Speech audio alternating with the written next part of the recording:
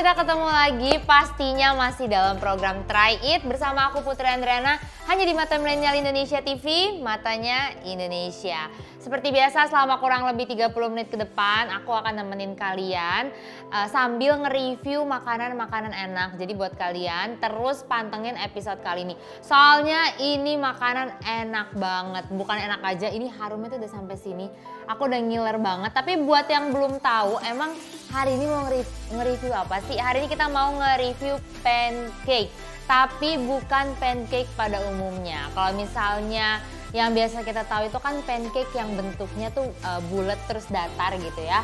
Terus biasanya toppingnya tuh dikasih es krim, terus ada strawberry atau dikasih maple syrup atau dikasih uh, coklat saus atau dikasih karamel biasanya kan kayak gitu. Tapi kali ini uh, aku mau nge-review pancake namanya itu baby Dutch ya. Baby Dutch bahasanya ya. Dutchnya tuh DUTCH ya, bukan uh, Deutsch kayak di Jerman. Eh ini dari, bukan kayak Belanda, tapi ini tuh Jerman. Kalau Belanda kan Deutsch gitu ya. Nah kalau ini tuh uh, dari Belanda. Sebenarnya makanan ini tuh udah lama kalau misalnya di Belanda ya, tapi di Indonesia ini baru ada. Jadi ini tuh pertama kali dibuka di Bandung ya. Aku tahu tuh nama kafenya eh aku lupa nama kafenya tapi aku tahu tempatnya kayak apa. Itu enak banget buat nongkrong. Jadi dia tuh konsepnya kayak outdoor gitu. Ada yang outdoor ada yang indoor ya. Terus dia tuh kayak banyak pepohonannya gitu. Pokoknya adem banget. Aku pernah ngeliat tempatnya tuh secara langsung emang enak banget. Itu yang pertama kali. Uh, terus dari situ tuh terkenal. Kalau nggak salah itu buka 2020, 2021 2020 lah. Terus terkenal akhirnya banyak cabang termasuk di Jakarta udah ada beberapa cabang kayak di Grand Indonesia. Terus uh, Kokas ya kota Casablanca sama di Aeon Tanjung Barat ya. Itu yang aku tahu atau kalian uh, boleh cari tahu lah kalau misalnya tertarik untuk cobain. Nah sebenarnya ada empat pancake, cuman uh, yang satu itu es krim jadi masih disimpan di freezer. Nanti pas mau aku cobain baru kita keluarin. Ini di depan aku dulu. Yang pertama ada buffalo chicken, tuh, ya buffalo chicken ini sih jujur yang paling wangi banget kayak wangi roastnya, wangi kejunya tuh uh, apa kecium banget gitu dari jarak jauh ya. Ini buffalo chicken, terus ada yang creamy uh, spinach atau bayam. Tuh. Ini nggak tahu kenapa dia bentuknya kayak gini ya. Ya, pokoknya sebenarnya aslinya kayak mangkok gitu. Terus ada juga yang original. Nah, original ini aku nggak tahu dia ada selainya gitu. Entah selai atau butter, terus ada lemonnya di atas. Terus ada uh, icing sugarnya nih, atau gula halus Oke langsung aja kita cobain. Aku penasaran yang creamy spinach dulu ya. Oh ya, uh, jadi sebenarnya kenapa disebutnya tuh baby Dutch? Karena dia proses pembuatannya yang membedakan dengan pancake lainnya. Jadi kalau pancake lainnya itu kan kayak uh, adonan pancake biasa tuh dipakai teflon gitu ya. Apa sih disebutnya dibolak-balik gitu. Nah, kalau ini itu melalui proses panggang. Makanya teksturnya itu harusnya renyah. Harusnya renyah dibandingkan dengan pancake yang biasa. Oke. iya. Iya iya aja loh Bi. Tapi benar-benar. Oke, kita cobain langsung. Oh, dia tuh tipis ya. Dia tuh tipis. Teksturnya tuh tipis. Jadi dipotongnya tuh gampang. Nah, tuh kayak gini ya kurang lebih. Gak gitu tebal sih dalamnya. Cuman pinggirnya aja. Oke, kita cobain ya. Bismillahirrahmanirrahim.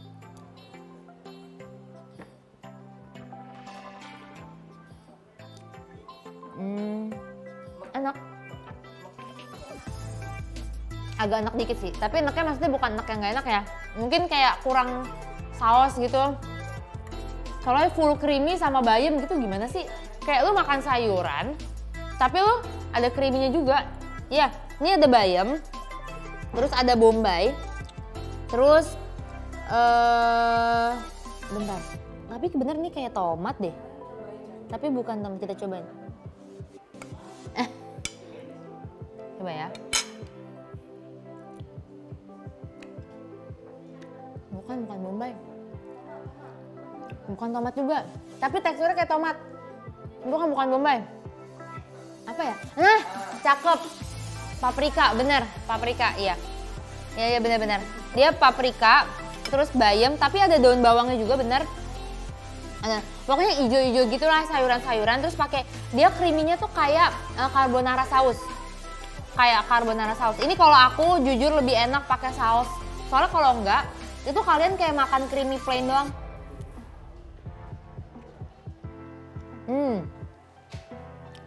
Enak banget tapi ternyata mm, renyahnya tuh bukan yang renyah sampai kriuk gitu ya. Dia cuma lebih ketipis, kering. Dia tuh kayak ini, kayak pinggir pizza. Nah, modelnya tuh kayak gitu kayak pinggir pizza, cuman dia lebih tipis. Jadi bukan yang uh, renyahnya tuh kayak renyah kerupuk kayak gitu tuh enggak. Mungkin karena proses uh, pemanggangannya juga. Mungkin bahannya tuh sama kayak pancake uh, yang biasa tuh sama pancake Jepang itu kan yang fluffy. Tuh kayaknya bahannya sama, cuman kalau ini pakai proses panggang. Jadi buat yang creamy Spanish ini enak, cuman aku saranin kamu pakai saus atau pakai apalah yang buat ngerasa rasa gitu. Soalnya kalau nggak rasanya uh, fully creamy banget. Ya, fully creamy banget. Ini tapi porsinya ya, kalau kata aku sih kalau untuk makan berat kayak kurang kenyang gitu karena dia tipis. Dia tipis banget. Nih kan ini aku tunjukin deh lapisannya. Nih nih. Ini tuh kayak cuman dua lembar tipis gitu doang loh. Tuh. Ini tuh full karena creamy aja. Kalau creamy kan kuah gitu. Jadi kelihatannya tuh full. Aslinya enggak. Ya. Tapi ini enak, ini enak dan kayak gimana ya? Pancake versi baru lah jadi sesuatu yang baru kita bosen kan yang biasa. Oke lanjut, kita cobain yang aku penasaran yang ori. Eh yang Spanish berapa tadi? 5 55 ya? Yang yang lebih mahal yang buffalo chicken ya? Nah, ini kita coba yang original. Ya. Oh, dia tuh di dalamnya kayak ada minyak gitu, guys. Nih, nih, nih tuh. Tuh. Jadi kalau kita congkel, itu di setiap lapisannya ada minyaknya gitu. Iya, nggak tahu ya, mungkin bisa dari butter atau apa. Terus ini tuh atasnya kayak selai kacang. Tapi mungkin bukan kacang. Bener ya? Iya bukan kan? Tapi maksudnya teksturnya tuh kayak selai kacang. Nih, nih, ini susah, ini pakai tangan aja. Nih, nih, nih. Tuh, ya dia tuh kayak ada tuh nih tuh. Kayak selai kacang tapi apa ya? Oh, manis. Ini nggak bukan butter kayak selai tapi manis gula. Apa sih? Gue kurang pengetahuan nih kayak gini-gini nih. Tapi yang jelas ini manis ya yang original tuh manis dia bukan asin. Hmm. hmm. dia manis terus ditambah sama manisnya si icing sugar. Lemonnya buat diperes kali ya Coba ya kita peres ya. Asin, eh manis. Manis sumpah. Nih. Setahu gue tuh lemon biasa dipakai buat yang amis-amis.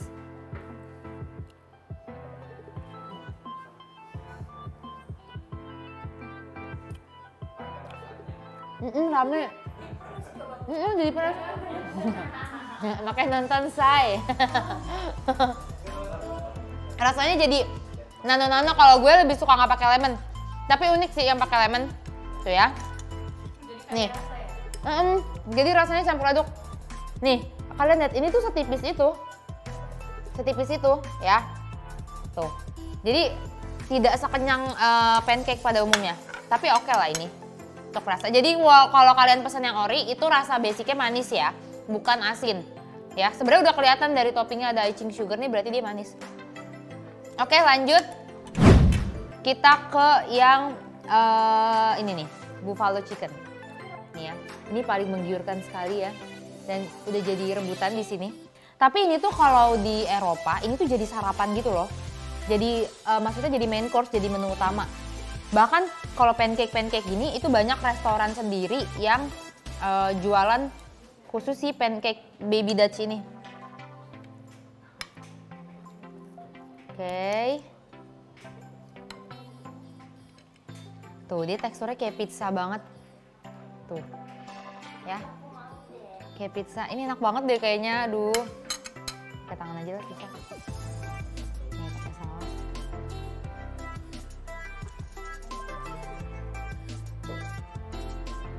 Hmm.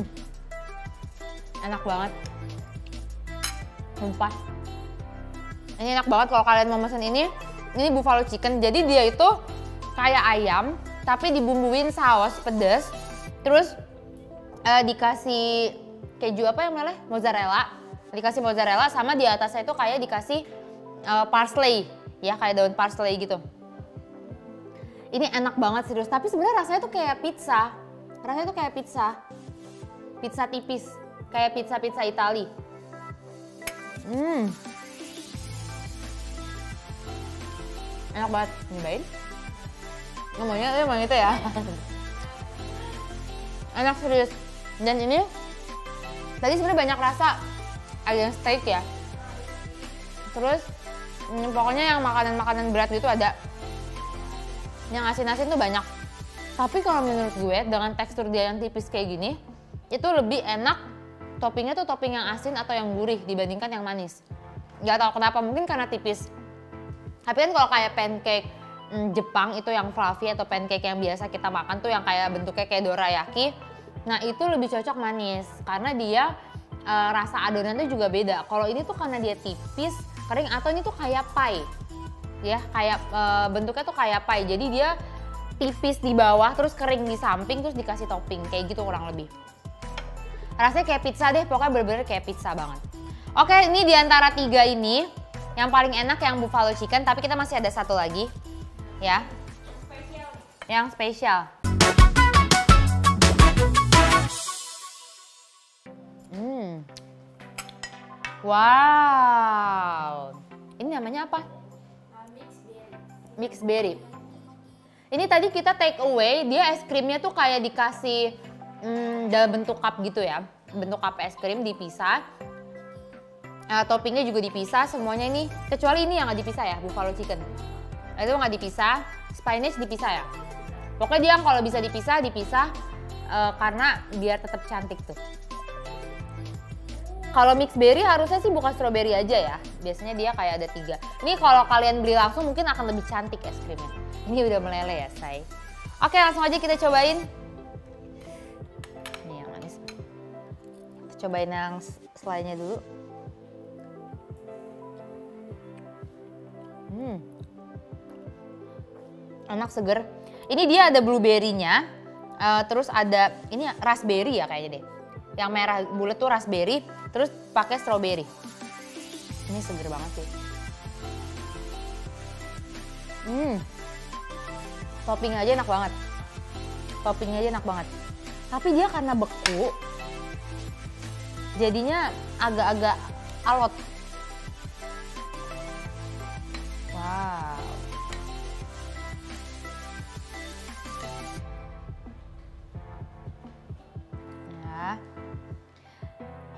Oh ya, yang buffalo ini 59.000 yang paling mahal. Terus yang lainnya ini uh, 55.000. Terus kalau yang original itu di 49.000. Itu harga online ya. Jadi lebih mahal 20% dibandingkan kalau kalian beli langsung. Tapi kalau di online itu kelebihannya biasanya banyak promo.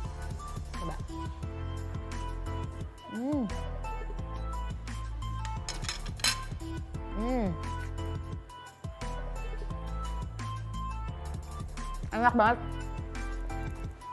Enak banget tapi kayak dinginnya tuh nyilu di gigi. Seriously ini enak parah.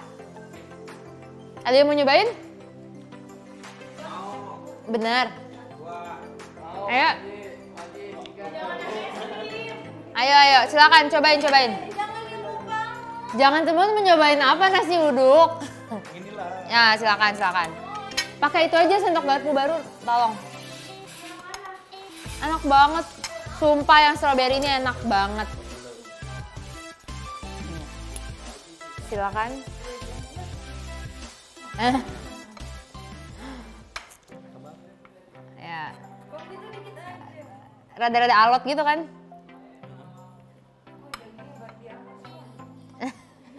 Sih lo khawatir banget? Coba ya. Nggak pakai saus, itu ayam doang. Di, ayam tapi ayam dikasih bumbu saus gitu. Ayam ya? Oh nggak ada, dia ayam ayam doang. Tapi dia kayak ada apa namanya bombay gitu-gitu sayur-sayuran. Nggak ada. Enak nggak? Enak. Cobain lagi. Nah cobain nih, yang ini. Ini yang bayi. Yang bayam. Ini pakai itu, ya atau nggak terserah sih. Tapi sama pancake biasa menurut lo enakan mana? Ini. Ini kan, ini tuh lebih enak, cuma emang nggak mengenyangkan. Kayak pizza. Kayak pizza. Tapi pizzanya pizza Itali yang tipis. Ya. Gimana? Enak. Nah yang ini nih yang Kalau kebanyakan agak enak atau pakai saus harusnya. Nih sekarang cobain yang ori. Yang ori gue nggak tahu sausnya apa siapa tahu lo tahu ya. Mm-mm, itu udah dicampur lemon.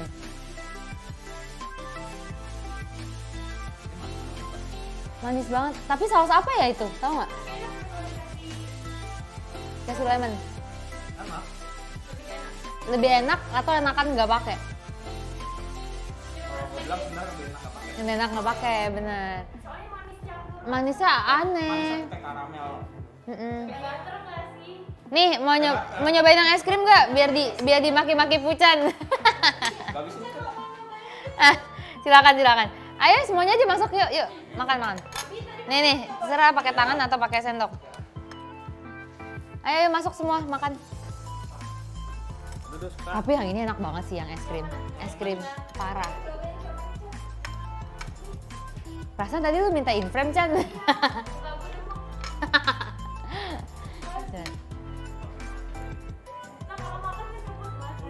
Wah. Gila enak banget kan?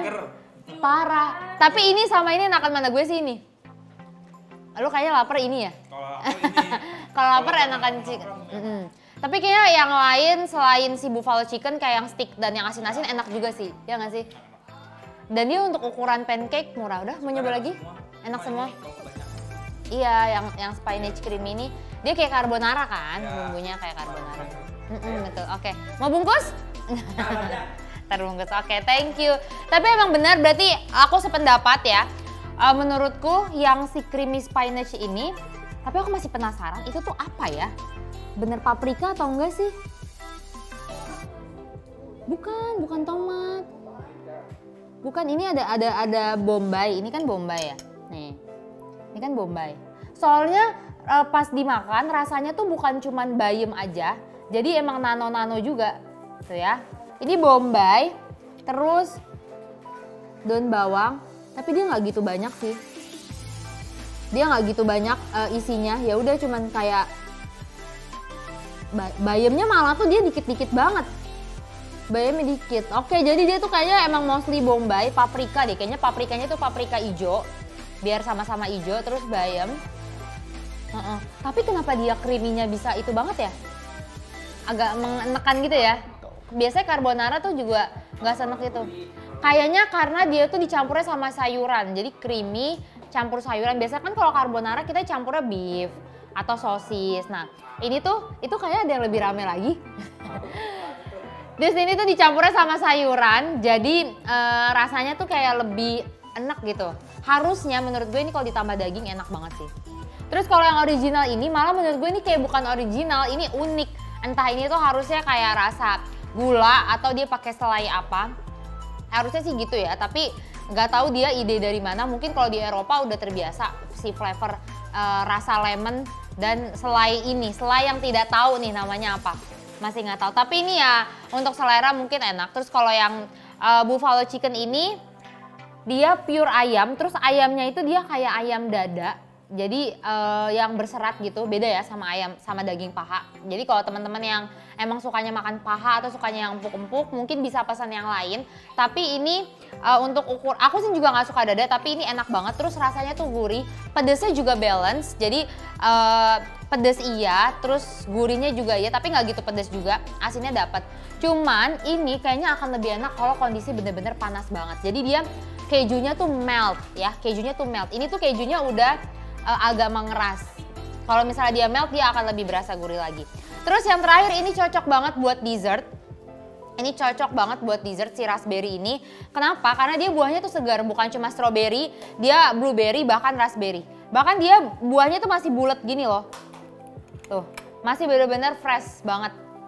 Masih bulat.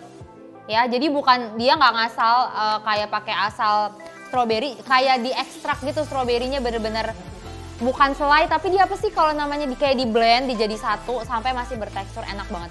Es krimnya juga enak, dia pakai es krim eh, vanilla. Terus meskipun dipasangin sama si pancake ini, pancake tipis tapi dia masih tetap nyambung gitu.